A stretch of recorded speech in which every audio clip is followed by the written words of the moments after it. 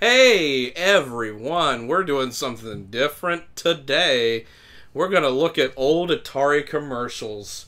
I guess what we're going to do is we'll show it once and then we'll go back and I'll make fun of it or talk about it or whatever. But uh uh, this first one here, we're gonna we're gonna go like from eighty one ish, uh, up through eighty three with a few things. Actually, I need to move one of these. It's in the uh, wrong place. Okay, drink.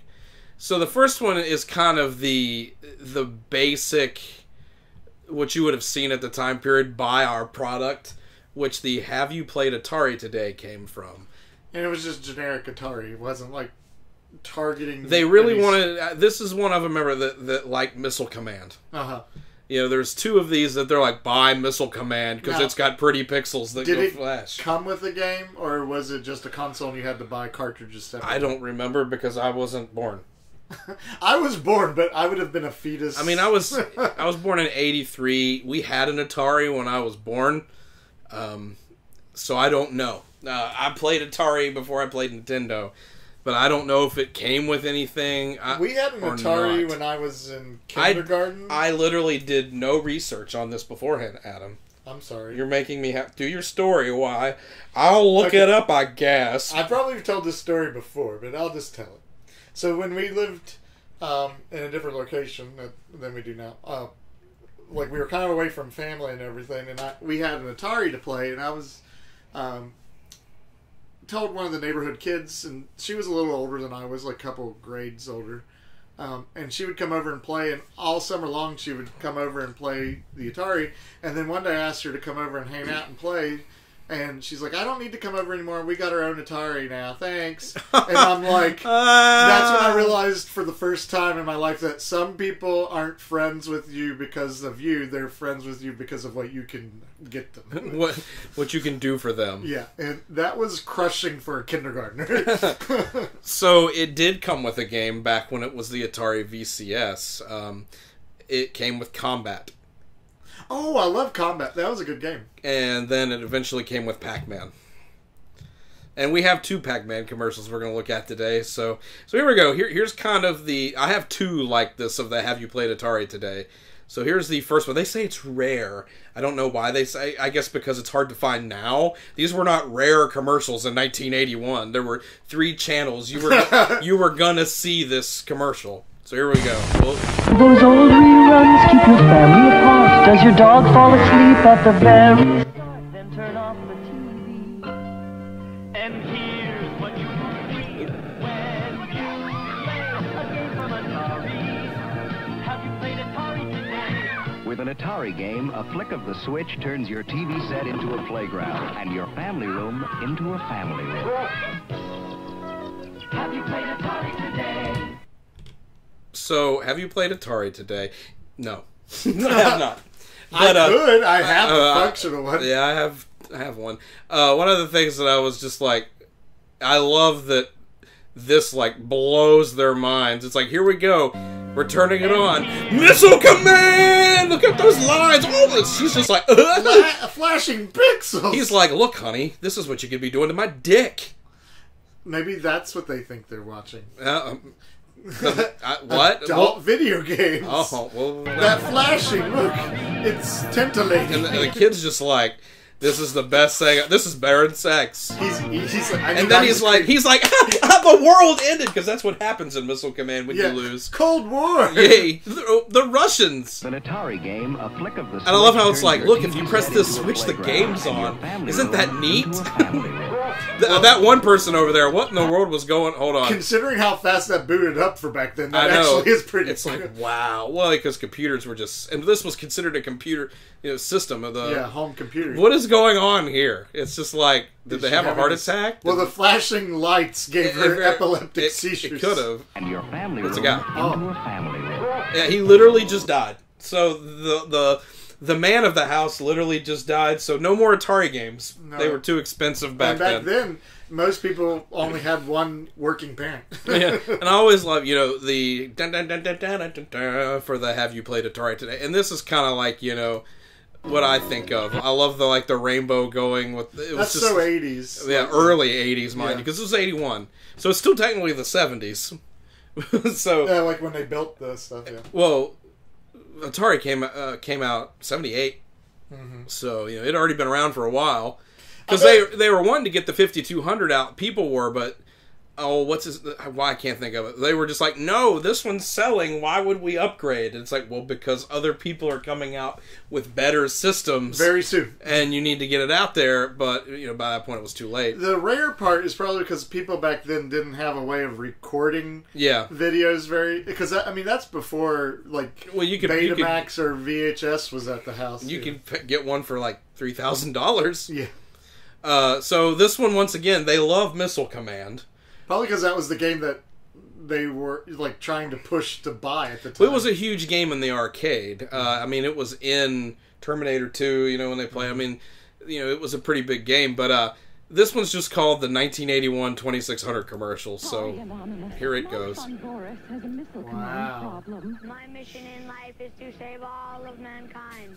Lately, my daughter has developed a similar problem with Atari Warlords.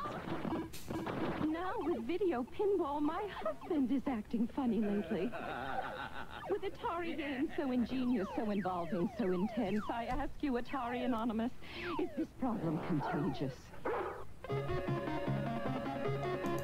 So I like this one's just like burp burp burp burp burp.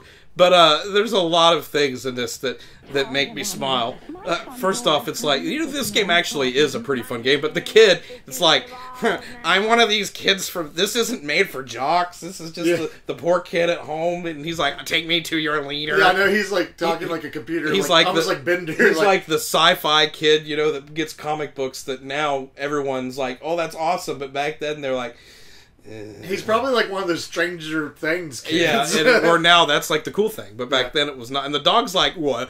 Uh, Why won't you let me play?" the he looks like the dog from that Shaggy do- dog. yeah, the you know. shaggy dog. Yeah, And I don't even know what this one is. Uh, that's someone, one of those. Um, the, the the poor daughter like ha- having fun. Well, kudos for them for having like all age groups and different genders and everything. this scares me. He's like, look how he's like holding the controller. It's like, and maniacal laughter. yeah, I know.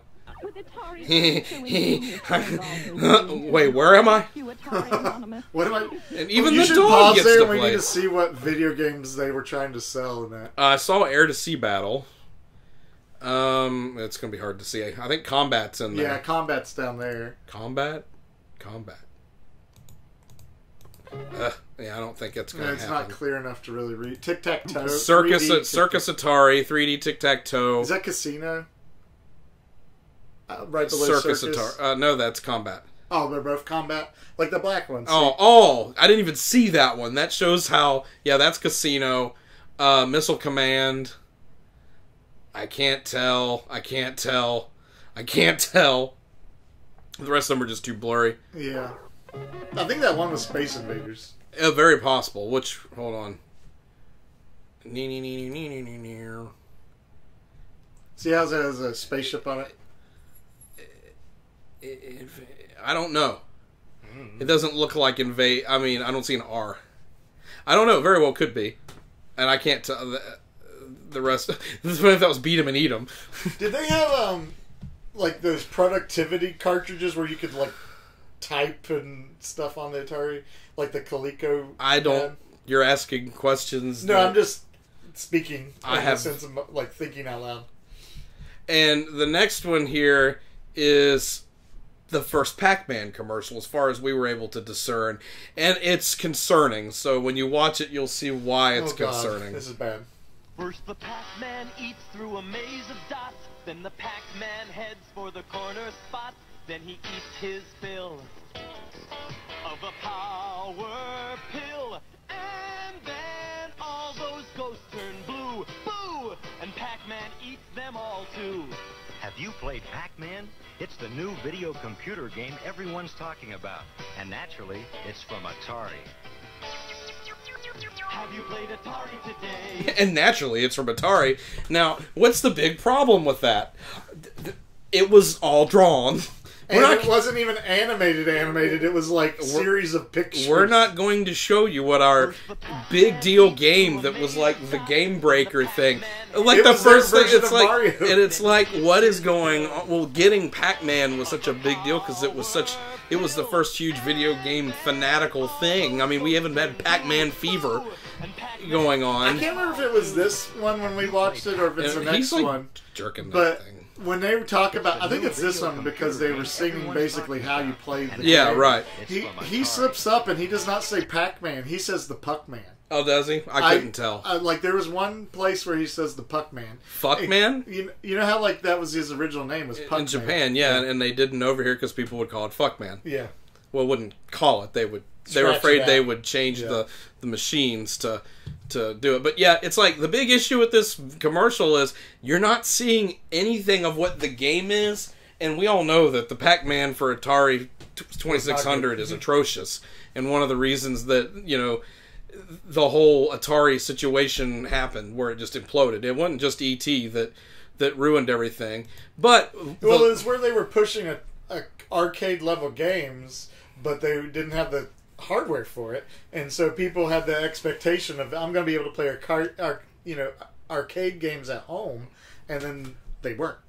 and the one of the things they started doing, I skip, I'm putting Pac-Man in between one just so we didn't watch two Pac-Mans in a row. But uh, another thing that was going on was when they would start showing 5200 graphics and not the 2600 graphics, but people wouldn't realize that and they would go buy it and they'd be like, "Why does this look so bad?" Uh, and if you've played some of these games, you'll know how bad they were. But this is a pretty long commercial for uh, pole position, which was a huge, huge game at the time, and they do not use the 2600 uh, graphics for it. I have it on the 5200 sitting over there, but I, I don't have it. For, this is a long commercial even by today's standards. Like, right? Yeah, and it's like, well, well wait. Hey! Yes? You look like a real jerk. Well, I am a corporate executive. He stops exciting things from happening. So what you doing? Well, Muffy, Buffy, Biff Jr. and I are going on our Sunday drive. Oh, no, you ain't. You're gonna play pole position!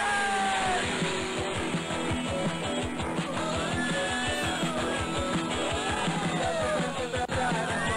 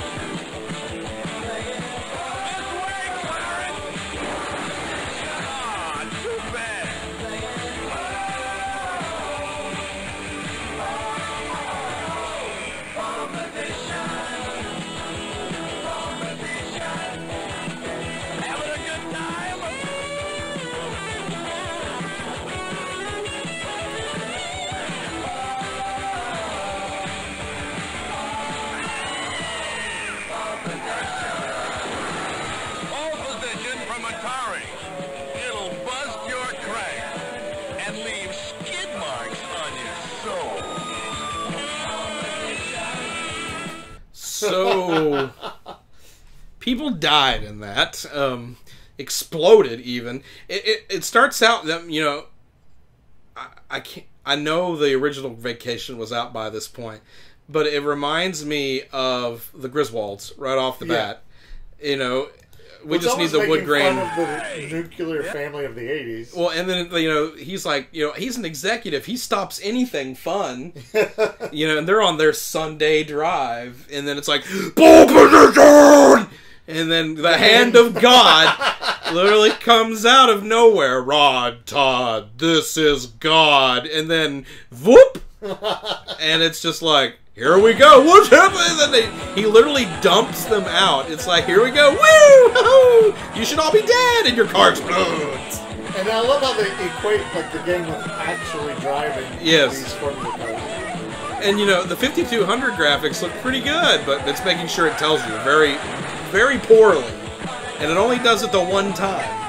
So, you know, if you blink, you don't see that it's the 5200 that's being Well, shown. most of the gameplay isn't See, dead person, literally right there. part of the video. If, if most of the video is this weird, like, Yeah, them in the cars. Yeah. But at least it shows the game. you know, and the 5200 graphics aren't that bad considering that the game itself was really m- mind blowing for, excuse me, for the time. That you know the the big thing that doesn't look that impressive is the explosions because you know like. like a oil spill. Yeah, it's just like like that, and whereas in the game, like tires would fly at you and everything. But it's like available for all Atari game and computer systems, so like the Atari 800 computer. But uh, you know, That's a weird controller. Though. yeah, well, it's Yeah. the 5200, and it's a hot mess. But uh, now we get to uh, an interesting one. This is Atari's Pac-Man with Mr. Hooper, Well, which we believe is the second commercial. yeah, I'm pretty sure it is the second one since it actually has. Unless this is the first one, and when he died, they quit showing it and went Oh. to the animated one. Either they could have done that. so we're not real sure which one's first. Um, but he died in December of 1982, and this game was released in March of 1982. So, regardless, one of the last things he did besides Sesame Street was this game. I'm it's sorry. interesting they're using Sesame Street like. a well, that girl would be young Yeah. enough to have been on Sesame Street. like characters that people would have associated with educational stuff. Here, play this video game.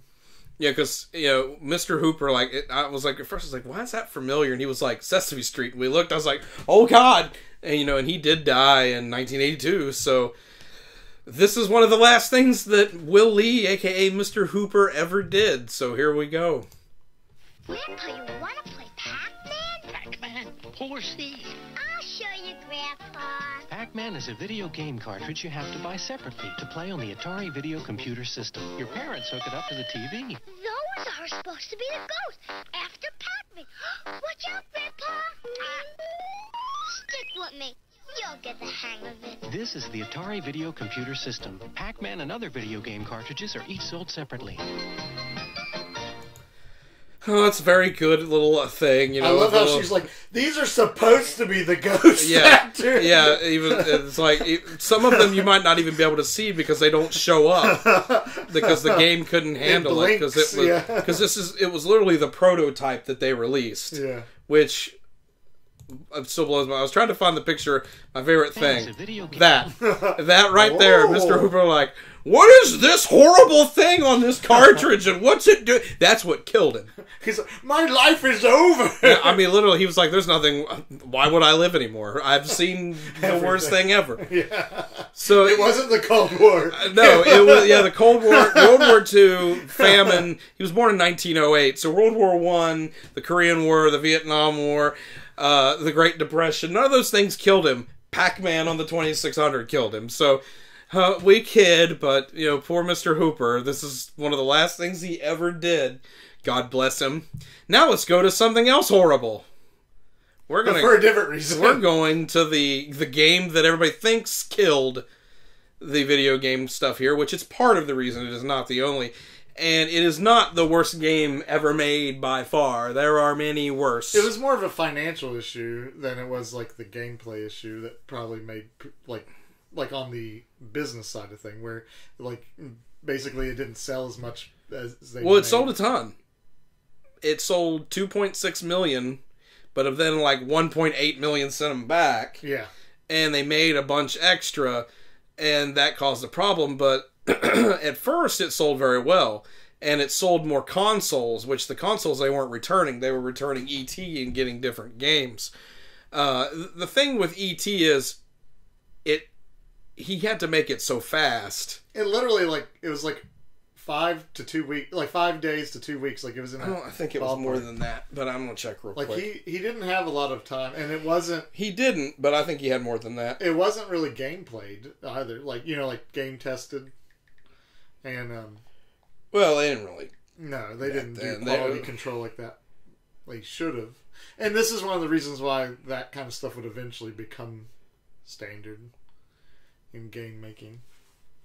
because uh, Howard Scott Warshaw that made it made uh, Yars' Revenge, which, Which is is a, one of the best games at the time. and then he made the Indiana Jones game, which is really confusing and and hard and difficult. he but tried to make games that weren't the same cookie cutter type game. He did. It's Yeah. just the game. It's like the Atari Twenty Six Hundred is not the place for a adventure type point and click game like he basically made Yeah. that out of.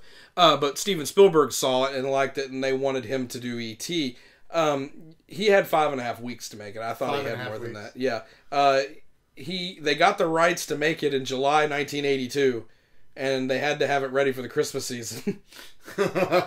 and um, It took a while to make those cartridges because you have to print them and and copy the files over and And I'll just tell you right now, that there are plenty of worse games. I actually, once I figured ET out, it's not that bad. I mean, it, it's bad, but it's not. I've played a lot the worse. biggest problem is they just don't tell you in the game how to play the game. well, I see. That's really I don't know if that's true because I've never seen the instruction book. I have two ETs, but I just have the cartridges. Well, I've I, never. I mean, like in the game itself, they don't. Like that's what I'm saying. Like a lot of kids wouldn't read Well, instruction manuals. what did Zelda do though? Zelda, like you don't necessarily need the instruction manual. But it just throws you right in the middle of a screen with no Right. weapon, no nothing. Have fun. Yeah. Same thing that did. You know, I mean, I think how many kids didn't go into that cave and find that sword and wondering what in the world they're supposed to do and where's the dungeons because there was nothing to tell you. But if you looked in the instruction book, it told you. I, I don't really. While this plays and horrifies us all, find out.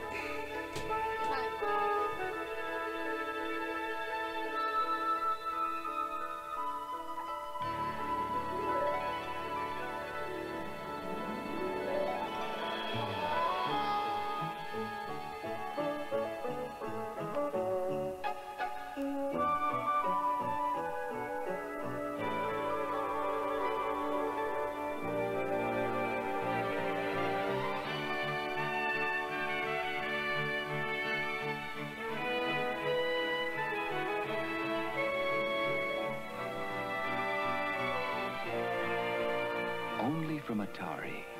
Made especially for systems from Atari. The video game that lets you help E.T. get home. Just in time for Christmas. Happy holidays from Atari. First off, I love that commercial because it's it's everything that makes Christmas Yeah. commercials great. And it's very cinematic, almost like Steven Spielberg himself filmed the commercial. So I'm looking at the instruction book right now. Says your mission is to help ET find the three pieces of his interplanetary telephone, call his ship, and guide him to the landing pad in time to be rescued. Do this before ET's energy runs out, and you'll win the round and score points. ET traverses six steps or sites on planet Earth. Four of these are full of pitfalls, and they are dotted with deep wells into which ET can fall and then it has a fifth site that shows Elliot's house and the Institute of Science and the FBI building. Here, ET is taken by the scientists to be studied. The sixth site is a forest setting where ET first lands and where the ship will land to pick him up. Right there, it tells you exactly what stuff does. And on the uh, figure where it talks about the holes, it shows them, it shows what a candy piece is. And it shows you how to find out if there's a phone piece in the holes right on the instruction book. really? hmm Reading's fun, children. Let's see, there's another page here. Let me zoom in here. Oh yeah, it tells you about the which one the FBI building is, which one's Elliot's house, the Science Institute. It tells you what the phone parts are. Shows let's see here. A round ends when ET boards the spaceship. At the end of the round, all your bonus points are displayed. If you want to play another round, simply press the controller button. ET's telephone pieces and the candy will be redistributed for him to find again. You can play as many rounds as you like, since your bonus points will accumulate. A game ends when ET runs out of energy or when you decide to quit playing. Thank you. On each site, ET moves through various power zones, while in a power zone, ET can execute only one of his extraordinary powers. For example, if ET is ready to call a spaceship, he must be in a call ship zone. As ET stands in a power zone, the symbol for that zone appears at the top of the screen, which is shown in the figure 4 on the instruction book. At the beginning of each new round, the power zones are randomly changed for each site. Then it tells you on the next page what each of those do. Which, for years, I was like, what? Yeah. So it has like the find piece, the phone piece zone, and these are all explained. Send humans back. ET can send the FBI agent Elliot and the scientists back to their respective buildings. You have the candy zone. If ET eats one of his candy pieces, he'll convert it into energy so he doesn't die. That's helpful. Call Elliot zone. Uh, when he has nine pieces of candy, Elliot will take the candy and chase away humans and leave to find a missing phone piece. Elliot will then bring the phone piece to ET. If he has less than nine pieces, Elliot will take the candy and go back home, aka, and you get points. So if you have all of them, you can get a phone part. You can call the ship, move to a new uh, site where it'll teleport you, and then you have the find phone piece, which will blink in which hole you can go get it. So the instruction book literally tells you what you're supposed to do. Boy, I wish I'd had that as a kid. That would have made me probably like the game a little bit more. Unfortunately, the internet didn't exist. No. and so no copies of that were available unless you actually. And I, and I know a lot of people because it's just like boxes for those old games. They just threw them away and Yeah. kept the cartridge because that's Well, all you needed. Quite frankly, as a five-year-old kid, that wouldn't that those booklets wouldn't have lasted around me. like you know what I mean? Like they would have gotten My- stepped on, trashed, and spilt and everything. you know. I had all mine because mom and dad kept them in a place, and I was not allowed to tear them up Mm-hmm. because they're like, if I paid fifty dollars for this, no, I didn't have the boxes, but they they kept it to where you had to have the instruction book in the slip for Nintendo games, Uh-huh. so I had them in that. But uh, the the next one here, we're going to look at two more after this. We have three left. This is the Star Wars arcade game, which once again they use the 5200 graphics to show you the game. So most people didn't have that, so they were going to be greatly disappointed when they saw what it looked like. So this is a pretty common commercial that a lot of people know, but I thought I'd add it It's in. funny. Star Wars. It's great in the arcade. TIE fighters! Fireballs! Coming right at me! Watch the laser towers. Aim for the tops. Picking the cutouts. Use the force. They're coming too fast. It's way, it's way! My shields are gone! Alright! I'm going in! Oh, some game, huh? Some game! In a galaxy of video games, there is only one Star Wars, the arcade. From Parker Brothers. What's that? Oh, that's just the copyright text. Yeah. I was like, what is that? Like fine print. Very stuff for LucasArts and first off, Why is this not a meme? look at look at him. They give me the He doesn't even look real. No, he doesn't. It's like Jim Carrey. And then, first off, I will say, uh, the game looks pretty good for the Atari 5200. It's like navigating a three-dimensional space. Like, it, it looks pretty good. Like, I would play that, but that's not what the, the other one looked like. And, uh, I love. I mean, it's like, what? Look at that hair. Some game! And I love how, you know, it's like it, they have the Coleco on there. It's like, shh. And the Commodore 64, which, you know, was where most people played games back, back in the day. Yeah. Uh, because they had the Commodore, which was a huge selling system. So I'm not a lot to say about that because it's just been shown a lot, but it's just his face. That that's funny. And another one that a lot of people know because it's the first time like Luigi is really mentioned. Something's coming up the plumbing. Poor Luigi's in a bind. Giant turtles out to get him. Creepy crabs are right behind. Spider flies, cheaper shites. They're all coming out the pipes. Mario, where are you? It's Atari Mario Brothers with Mario from Donkey Kong, his brother Luigi, and lots of crazy creatures. And it's twice the fun when two play at once, because you need all the help you can get. Mario, where are you? Mario Brothers, new from Atari. It wasn't until a couple, like maybe, like sometime in the past year or so that I did. I didn't realize that that little game that they're showing here for this Yeah. was actually The- here. yeah. I always thought it was just like a mini game in Mario Three. Like you know what I mean? Like, right. I had it on the on NES. I didn't know Mario was on Atari. Mario frankly. looks they look weird, which of course was what you know they. ugh. Well, they look like their Donkey Kong version. Well, you should see what he looks like in the 2600 version. it's really bad, and it shouldn't have been that bad. But you know, the big thing about this is the beginning. You know, where they have the live action Luigi, the fat Luigi, mind you. He looks like the live action Mario from the cartoon series. The- You know what I mean? Like Yeah. like the inspiration the for that. Mario Brothers with Mario from And, and of course they call him it's the Mario and lots of brothers, you know, because back then we didn't call two him play Mario, it was once, Mario. 'cause You need all the help you And I've heard a lot of people used to watch Nickelodeon's Total Panic, and when Mario 3 came out, Brothers, she was like Super Mario Brothers 3, and I'm like, Mario? Mario. What is this Mario you talk of? So, you know, even the 5200 one, it doesn't look like it ran at a very good frame rate. I've never played it on either of these, but uh, I've mostly played it on the NES or in the arcade. We played it in the arcade. It was uh, Canal City had a really great arcade in its mall. That's where our movie theater was. We used to always go to because it was closer to the Canal Mall than the town center where we lived, and it had Mario Bros. And it was always cool because you could watch like it would bounce on the screen, the Mario, Uh-huh. and I'd be like, I want to play this, and I'd last like three seconds because a, a two-year-old, three-year-old couldn't understand that you jump under the thing Yeah. and I just thought you jumped on them or ran into them. And I was like, why am I dying? Then when Super Mario came out, it was even more confusing because you could jump on them and kill them. It's which is the reverse of what Yeah, you were just talking. yeah, and it's just like okay. So that, that that's a fun old commercial. Not a lot to say about it. This one's the interesting one because you couldn't really do this one anymore because it's kind of it's like an old beer commercial, I guess I'll say. It's you know when they used to make fun of on The Simpsons, where it'd be like all these hot women and attractive, you know, older teenage to college level boys all fratting together and doing all this stuff. It's like they wouldn't do this anymore. But it's like, look, if you play Atari Fifty Two Hundred, you're going to be this hot, sexy, whatever, and everyone will like you. So you You'll have, have to do friends, this. Yeah. like I used to have.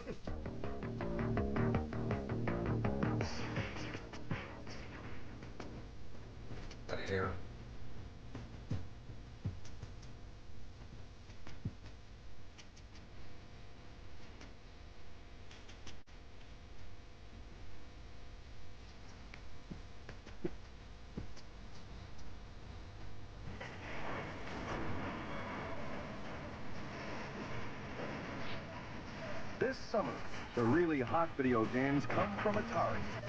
We've got Centipede, Ms. Pac-Man, Vanguard, and Galaxian. If you thought it was going to be just another summer, Atari is going to turn your head around.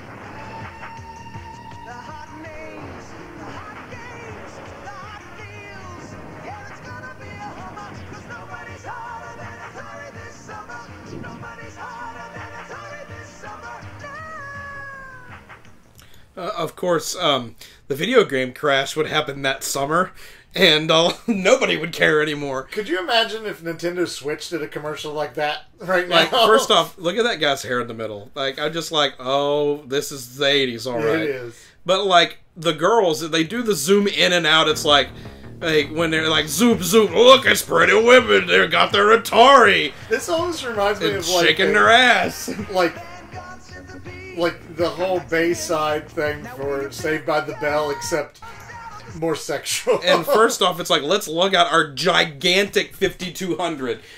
there it is. You know. we have a desktop computer, And then it's like, how do we power this? Well, apparently, you know, they have a generator in the sand with Clean the, energy, with, ladies. with, with the gigantic Atari battery for this thing. They don't show. And and hold on, where's the girl playing the? It makes it feel like the game is portable, which it is not. No, that's exactly right. Like, uh, duh, I'm playing with a Atari controller. Really hot video games. It's just like, uh, and there's the one where I got. Well, they don't even show you what kind of screen you would need. this right here. Um. Um. Um. Just another summer, Atari is Uh, going to turn your head around. Sure. They are really sexualizing those joysticks. This reminds me of one of those like college farcical Yeah. things, like Revenge of the Nerd type commercial, like you know movies. Like, look at these girls, like. The really hot And the boy, it's just. First off, if that really happened, we were discussing that ahead of time. Uh, that would have been amazing if you had, like, the 3D in the air. Like, Yeah, you could actually play hologram. really hot video games come from Atari. I like how the one guy, like, smacks him, like, Are you dreaming of these hot women with their Atari? We have to chase them.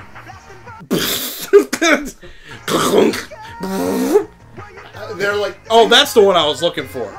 please play with my joystick. Oh, no, this is like, please Yeah. stick it in my ass. Yeah.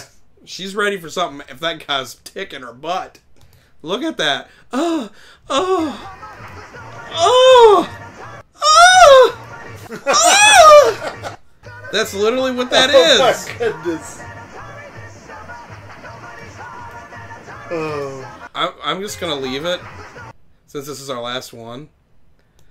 Right here.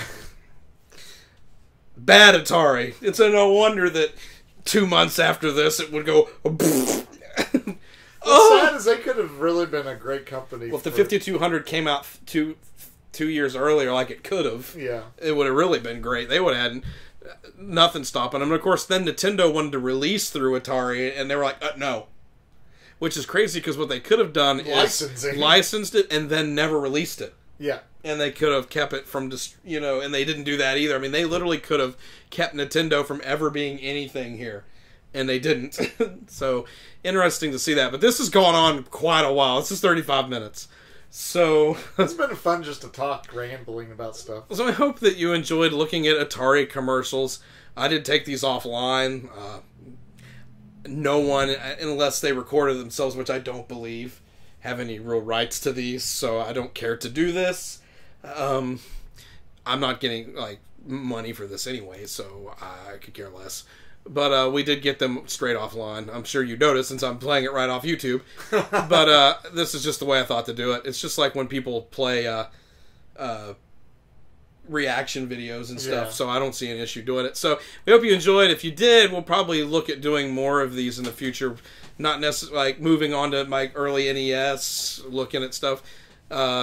Maybe Toys R Us commercials and the hills are where the toys are and oh, all that. Hills is where the toys are. So this is once again still getting longer. so bye everybody. Bye. Look at the O face.